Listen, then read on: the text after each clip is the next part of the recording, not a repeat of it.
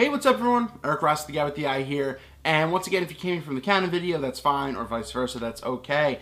But once again, if you're watching this right now, time of shooting, it's near the holidays, and you're getting a camera for the first time, or you or you had your camera for a little bit, and you clicked on this video because you're getting some error messages, you're not sure what some of this stuff means, and how to fix them, well, don't worry, I'm here to tell you some of the common error codes and some of the uh, error messages that you're getting and how to fix them in your Nikon DSLR. So it could be a very, very easy fix. Or it could be something, you know, a little worse. But let's dive into that right now. And here are some of the fixes for the Nikon DSLRs. Let's go!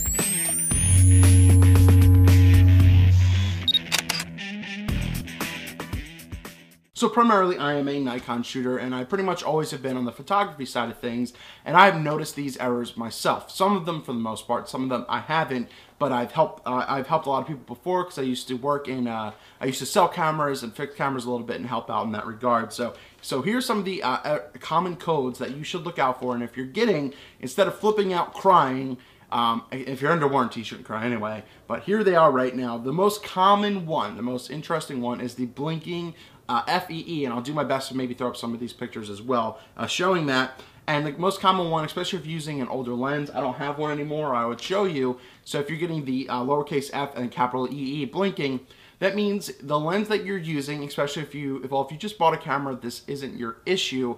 But if you have an older lens that you're using and you're borrowing from someone and it has an aperture ring on it, and that's the one where you see it clicks, you can move it on the back, uh, you'll see all the numbers on it of your apertures, like f16, etc.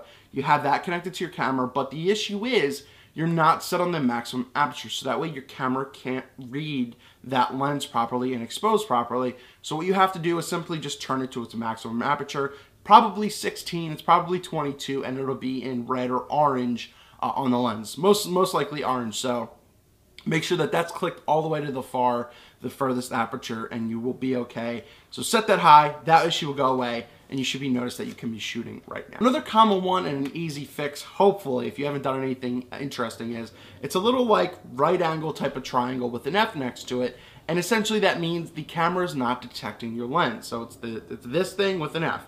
So the camera is not noticing that there's a lens on there.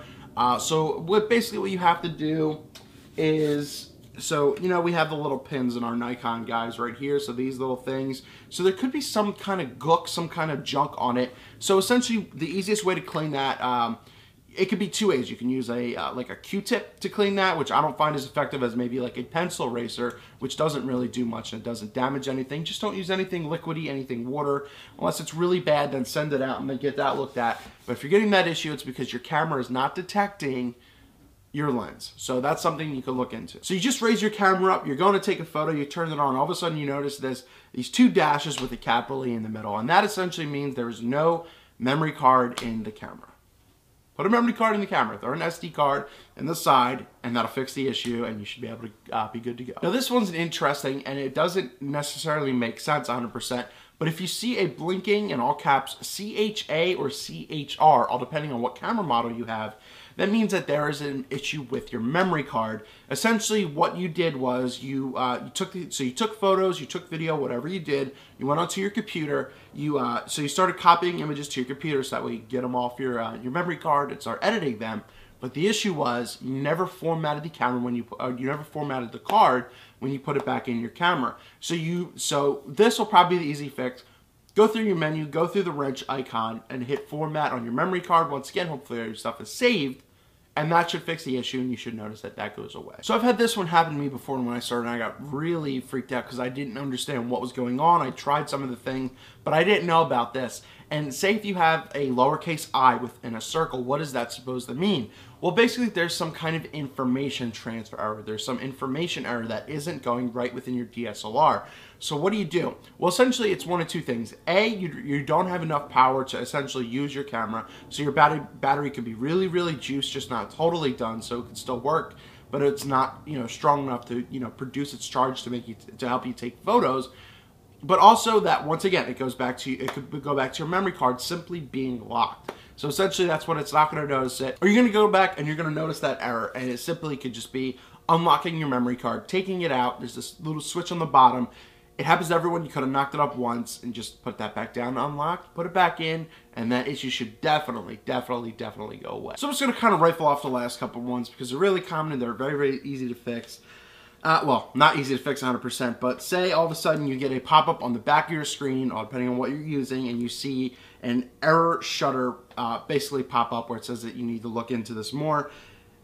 One of two things aka your shutter is you're, you're kind of screwed your mirror is kind of messed up it could be sticky. So you could clean that but once again this is where if you get this error i would definitely send this out under warranty get this fixed by nikon i don't know what you were doing maybe you're swimming in a thing of jello and you got your shutter messed up but um but yeah that, that's a really really big thing the oil within it could have uh, definitely screwed up and it's getting stuck it's not working how it should so this is why So this is why you're getting that error. So definitely look into that. Definitely most likely send that away if you, if you don't notice that there's any anything obvious uh, being intrusive to your camera shot. If you see the word full in brackets anywhere on your camera, that means your memory card is full. So essentially just uh, clean that off. So how about an F in between two dashes that is flashing? And that simply means that your lens is not on your camera. So if you typically every Nikon DSLR, you need to put a lens on it for it to work and actually take photos and everything. So if you're trying to figure out just some things, but if you see that message and you haven't put on a lens yet, that's what it is. You simply just put on the, the kit lens that came with your camera, if it's that case, or you just put any lens on your camera and that will fix that as well. And lastly, and one of the most important ones involves um, arrows pointing towards each other. So essentially there'll be two arrows pointing towards each other on your camera and that is saying that your camera is unable to focus at this time. So if you're trying to if you're trying to focus, I would you're probably in a lower light situation and your camera's not able to achieve that by itself, which is which is common. That can happen. That takes a lot. Or if you find out that your lens is hunting too much, so if you're using autofocus and you're noticing it not locking focus, you will probably get that error. So with that, add more light, use use a flash because the illuminator will help also uh, with the focusing in low light because it sends out the NIR beam if you want to do it that way or essentially throw it into manual focus and go from there. So this was a different type of video, but it's a very, very thing, it's a very, very common thing a lot of people go through when they get their Nikon DSLRs and it's just these messages that are, that look so intimidating when they're pretty, pretty simple, you know, but if you're getting a shutter issue or something really, really deep and nothing's working, all that kind of stuff, you tried everything. You tried just taking out your battery from the uh, from your camera, you know, powering it off, trying it again. That's a simple reset that every DSLR uh, uses for the most part, kind of like a, uh, a hard reset. Then you should look into getting it more of a professional service to clean or service your camera. When all else fails, send it out. If not, you can easily fix it, you know, so when all else fails, send it out. If not, you can easily fix it and go from there. So hopefully I helped you out a little bit. Once again, I know I know some of the viewers on this channel, this is very, very basic information, but also a good majority of you, uh, this will really, really help. And once again, this is shot right before the holidays at the time of shooting this, so a lot of people are getting their cameras for the first time or they're upgrading and they might see a different kind of error message, error code or something like that. Uh, and you can uh, essentially go from there. So if you guys have any questions or comments, please let me know. Once again, I used to do this stuff a lot uh, when I worked in camera retail. So hopefully this helped you out. Any questions or comments, write those down below. And of course, again with the eye, And Nikon error codes, don't be intimidated. Unless you have to pay for it out of pocket.